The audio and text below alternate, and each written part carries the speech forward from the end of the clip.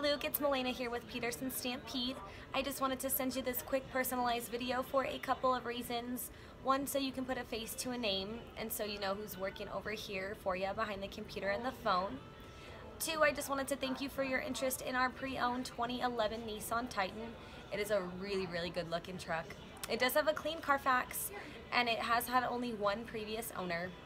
I just left you a voicemail and as mentioned, it looks like we do still have it available. Honestly, I don't think it'll last long. We've had a lot of eyes on it lately, so if you like it, I would move quickly.